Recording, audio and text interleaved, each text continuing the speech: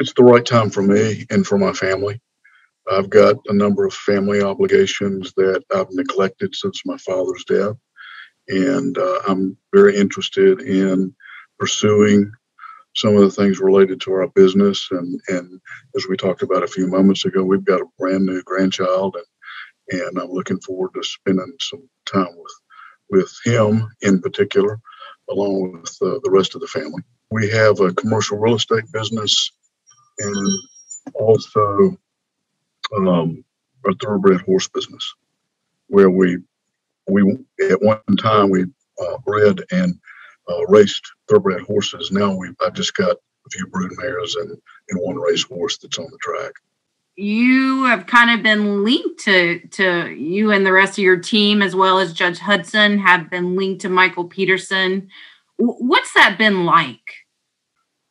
Uh, it seems to never end. That's what it's like.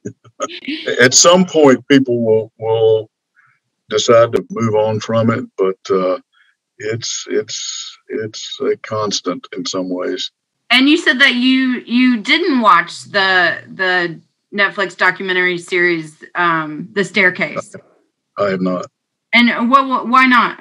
I just choose not to. I, you know, I don't think that uh, it was a very unbiased portrayal of what happened. And um, I, as I said, I, I know what happened. I know how we handled the prosecution, and I don't believe that uh, the state was uh, placed in an unbiased perspective because the folks that produced it, in my opinion, had an agenda. So